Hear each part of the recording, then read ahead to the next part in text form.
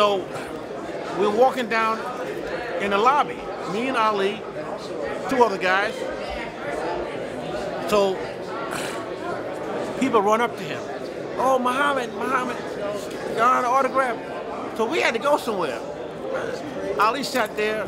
He asked the guy, would you please bring me a chair and a table? And we're in the lobby of the hotel. Hey, he they brought him a chair and a, and a table and the pen that don't run out of ink.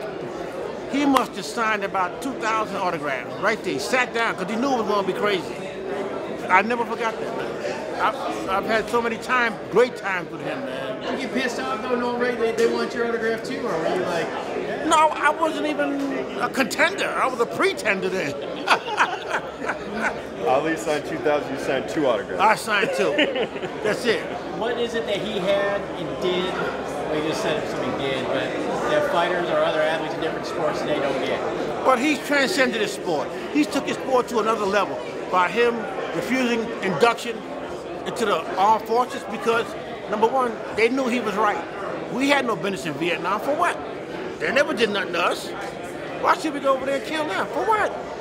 Ali stood up for that. You know, that's the whole key.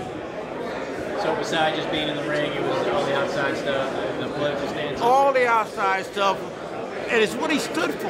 You know, I've seen Ali give, he could have a million dollars in his pocket, he'd walk around the street and give it away.